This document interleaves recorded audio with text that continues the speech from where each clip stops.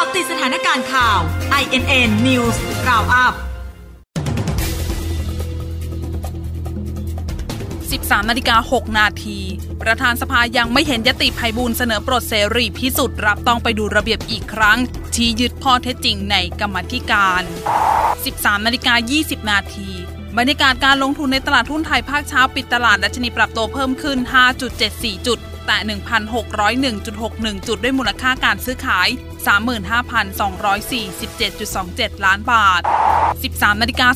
32 นาที วิษณุรับไม่เคยมีการยื่นถอดถอนประธานกรรมธิการมาก่อน ชี้ประธานสภาไม่สามารถพิจารณาเรื่องนี้ได้ ต้องให้ที่ประชุมเห็นชอบ